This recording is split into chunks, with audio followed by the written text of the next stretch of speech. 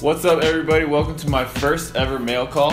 Uh, I know you guys have been sending in mail for the last seven years that I've been playing in the NBA, and I read most of them, but I've never done a video where I actually respond to them. So what I'm gonna do is open some of the mail today, and I'm gonna go through them and kind of have a dialogue with you guys, have a conversation with you guys. The first one comes from Zach C.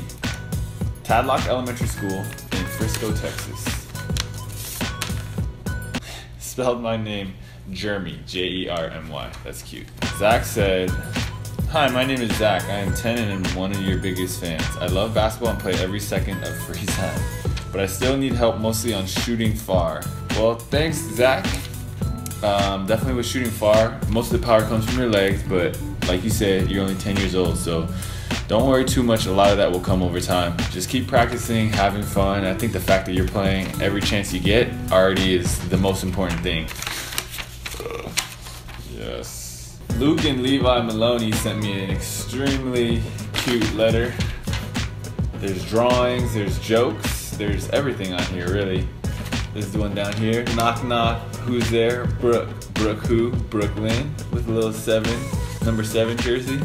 I definitely appreciate that. Tekla sent me a very nice letter asking um, if their family could meet up with me right after the season. Unfortunately, I left literally the day after the season. I left for vacation. You know, I appreciate the fact that your dad is such a big fan, and uh, what I want to do is I, I'm going to send your dad a signed bobblehead.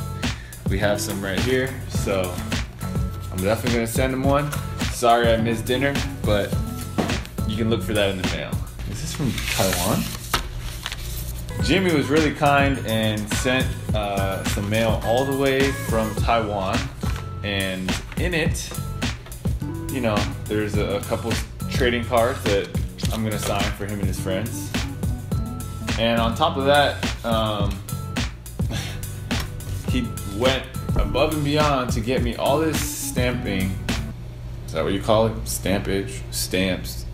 Got me all this postage to be able to mail it back to him, and he also gave me five dollars, and I really appreciate it. Take this five dollars, donate it to one day's wages, and, and support, um, you know, and empower girls across the entire world to be able to get education. So thanks for that, Jimmy. Clayton sent me an awesome letter, and um, one of his main questions is, "What do I like to do outside of basketball?" I love playing video games, hanging out with friends. I love food during the season, I probably eat like three times the average person because I'm burning so many calories. So when I go to restaurants, sometimes I order like three entrees or two entrees and two appetizers for myself. Clayton also asked, What's the biggest obstacle I've had to overcome?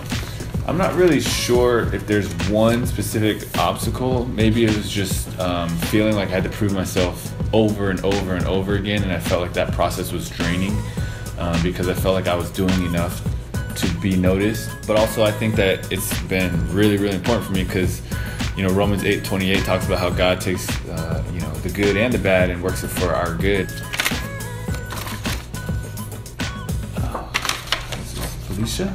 There's a letter from, I think, Alicia Chen. Um, I can't really read it all the way, but um, she came from Taiwan to New York and ended up not being able to see the game because I was hurt. I just want to really say thank you I know several fans came internationally and to watch our games, and I obviously went through a lot of injuries this past season. So thank you to you and everybody else who really made the trip to, to fly internationally to come watch one of our Brooklyn Nets games. Also, I got a wedding invitation that I couldn't attend because in the middle of the season, but Karen Fung and Sean Joe, uh, just want to say congratulations. That is awesome that you guys got married, and sorry I couldn't make it, but want to give you guys a shout out. Hopefully, marriage is going well. Lily sent me a, a really cool uh, email, and you know she teaches Chinese to students in New York, and so um, basically, you know, I'm gonna use a little bit of Chinese to Lily. Uh, 谢谢你呃写这个 email，希望你可以跟你你的学生说，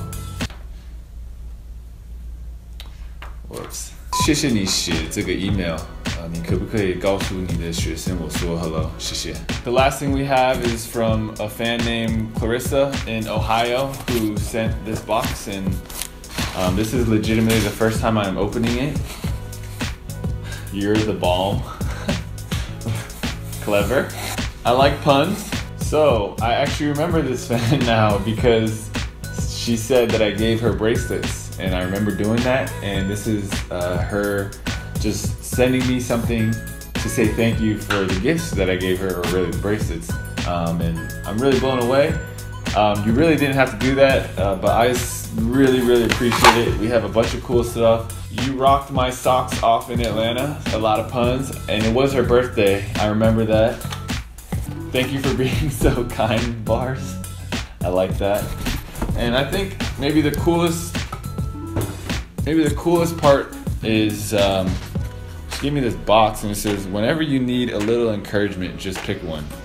There's tons, like a hundred little envelopes in here, and each one has these different encouragement notes. And the fact that she took the time, she cut individually cut every single one of these papers, glued the, the notes in there. That is ridiculously thoughtful. Like I, this had to take like hours and hours and hours, maybe even days. Um, so thank you so much for this. Uh, this one says, "I watch over you and I listen for your prayers." First Peter three twelve.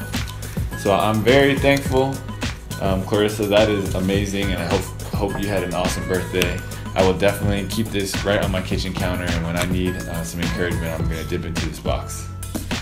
So make sure you guys comment or share the video. We're gonna choose um, some random people uh, who comment, and we're gonna continue to sign and send out some more bobbleheads to people. Um, so hopefully you guys have fun and uh, enjoy my first mail call.